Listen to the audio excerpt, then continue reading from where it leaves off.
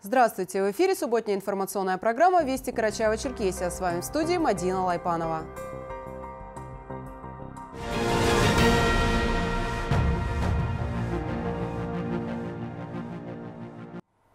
Сегодня День работника культуры. С профессиональным праздником уважаемых работников культуры поздравляет глава Карачаева-Черкесии Рашид Тимрезов.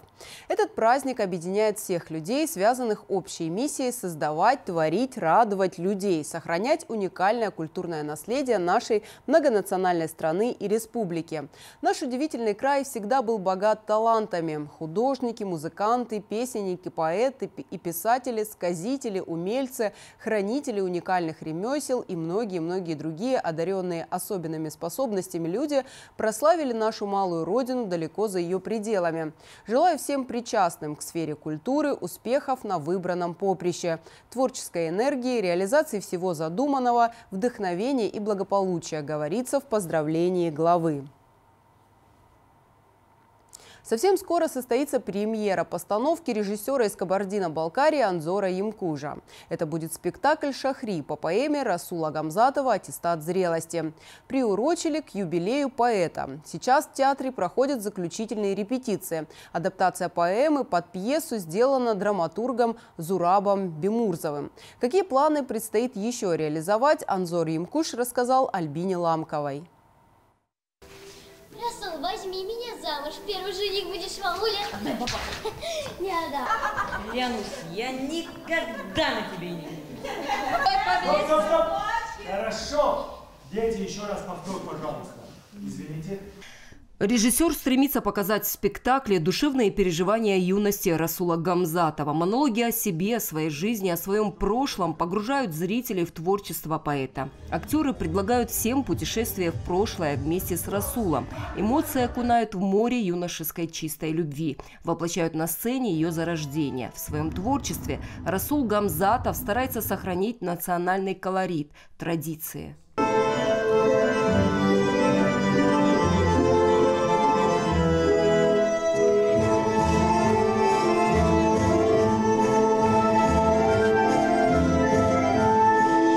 Зал для репетиции предоставили в новом центре образования Черкеска. Ставят спектакль на двух языках – черкесском и русском.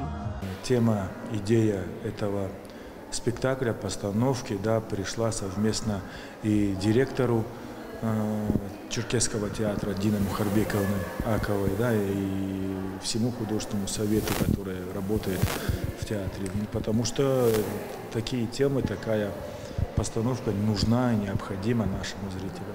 Тема любви, чистой любви, чистой юношеской любви, которая была у Расула Гамзатова, в котором он сам признался, которую он пронес через всю свою жизнь. Сейчас идут заключительные репетиции в Черкесском драматическом театре. Сама премьера состоится 30 и 31 марта. Первый день на черкесском языке, затем на русском. Анзур Имкуж рассказал и о кинопроектах. С гордостью поделился успехом полнометражной картины «Невиновен». Она уже вышла в федеральный прокат. Тема – межнациональные отношения. Съемки проходили на киностудии «Кавказ фильм». По многочисленным просьбам зрителей сняли продолжение под названием «Кровник». Показ картины состоится этой осенью. Еще Анзур Имкуж ведет большую серьезную работу под названием «Без линей», основанную на исторических фактах, о том, как жители горного аула под страхом собственной смерти спасали детей, эвакуированных из блокадного Ленинграда. Несомненно, подвиг, подвиг э, духовной нравственности, высокодуховной нравственности людей в тот период и в то время, которое необходимо запечатлить, как режиссер я твердо уверен в этом, и показать нашему зрителю, нашим людям в нашей стране и не только. Говоря о неозвученных планах, Анзор Ямкуш заключил, что их много. Главное, чтобы они все воплотились. Альбина Ламкова, Расул Бердиев, Вести, Карчаева, Черкесия. Сейчас о погоде на выходные, а после мы продолжим выпуск.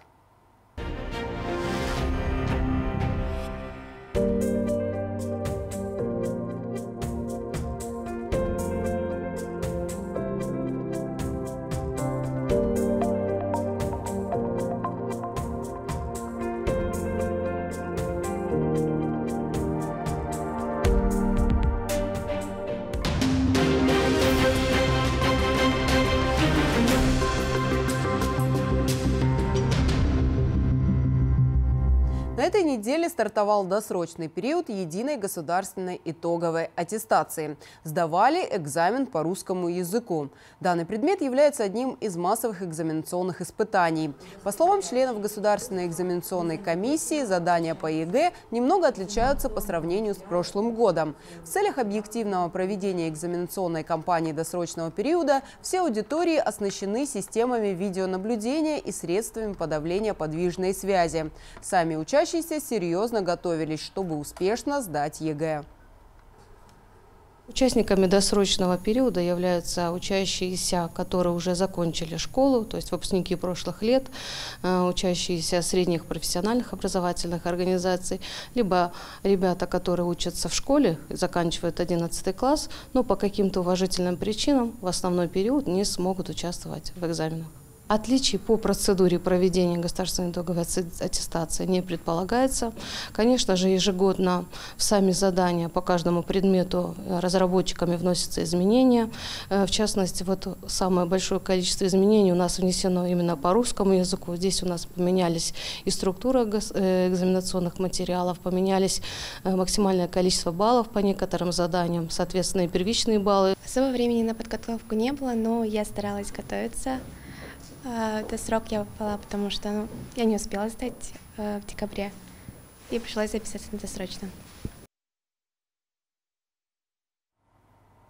11 лучших учителей родных языков из всех районов республики приняли участие в финальных конкурсных испытаниях в рамках регионального этапа Всероссийского профессионального конкурса «Лучший учитель родного языка и литературы». Педагоги делились своим богатым опытом, демонстрируя коллегам инновационные навыки обучения. За ходом состязания учителей наблюдал Алихан Лепшоков. Тематику любви я выбрала не случайно, так как именно это великое чувство является основой сохранения родного слова. Учитель родного языка из Урубского района Лариса Акбаева доходчиво делится своим профессиональным педагогическим опытом, используя современные технологии в виде электронной презентации. Для каждого учителя родных языков это возможность распространения своего преподавательского мастерства и получить новые знания от своих коллег. Конечно, это очень значимо. Мы, во-первых, делимся своим опытом, показываем, как мы работаем. И, естественно, в то же время и сами учимся, набираем какой-то опыт, смотрим на других. Надо, чтобы дети владели своим языком, знали о языке все, что им надо. Конечно, я считаю, это очень важно. Не знать свой, свой язык, я считаю, это глупо, по крайней мере. За ходом состязания следили представители Минобра Республики. Заместитель министра образования Фатима Бекижева подчеркнула важность подобных состязаний для выявления профессионального мастерства и поддержки родных языков. В свою очередь депутат Народного собрания Карачаева-Черкесии Алексей Ганшин поздравил финалистов конкурса и отметил, что именно на плечах педагогов лежит ответственность за сохранность родного языка. Я больше чем уверен, что если мы не будем изучать родные языки с детского садика, э, э, дома. Как только человек говорить начинает, он должен сказать первые слова на родном языке, и, наверное, это будут самые дорогие и ценные слова. И если мы будем изучать родные языки дома, в детском садике, а потом только придем уже в школу, зная азы, э, умея хоть немножко читать, то тогда он намного будет легче.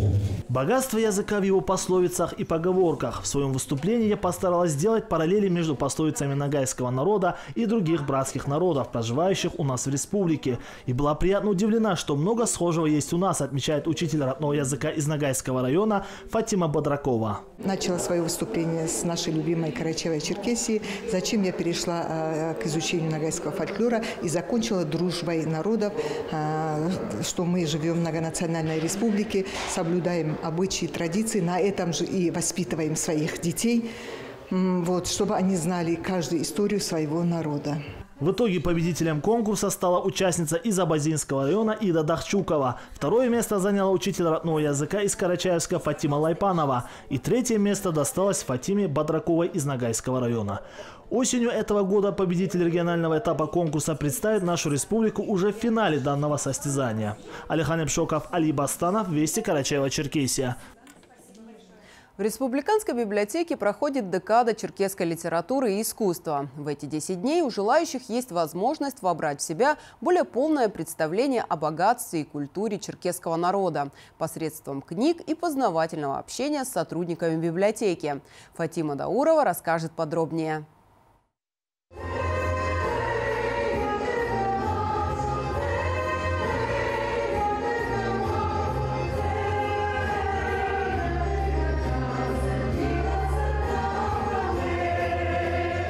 Не подпевать знаменитой песни «Нальмас» оказалось невозможным. Ее красивая душевная мелодия и пронзительные слова созвучны сердцу каждого адыга. Песня – маленькая частичка тысячелетней культуры, которую сейчас черкесский народ стремится сохранить и передать молодежи. И литературный вечер о предках памяти берегу, который дал старт декаде черкесской литературы и искусств, одно из мероприятий, направленных на преемственность поколений.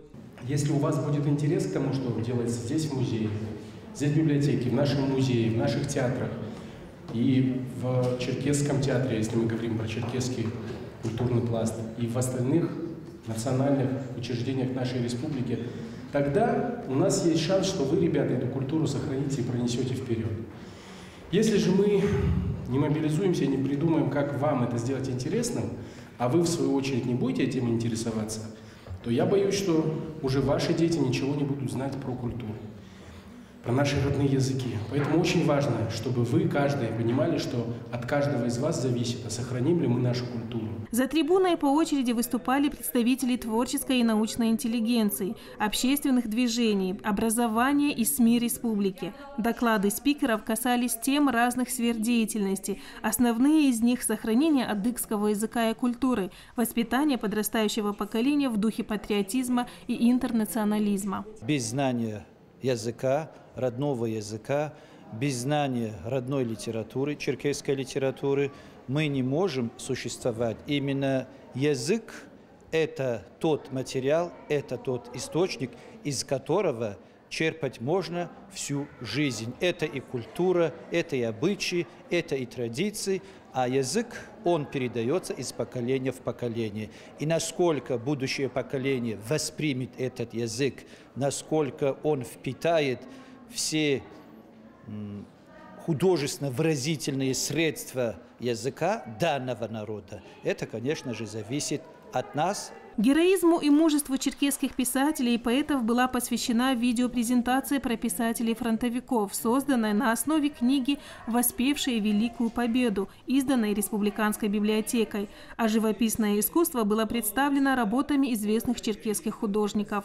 Вечер также украсил выступления артистов драматического театра имени Мухарбека Акова. Наравне с ними выступали юные школьники-декламаторы, которые представили публике частичку черкесской поэзии поэзии. Фатима Даурова, Зарема Карданова, Али Бастана, Вести, Карачаева-Черкесия. На этом субботний выпуск «Вестей» подошел к концу. Приятных выходных и всего доброго!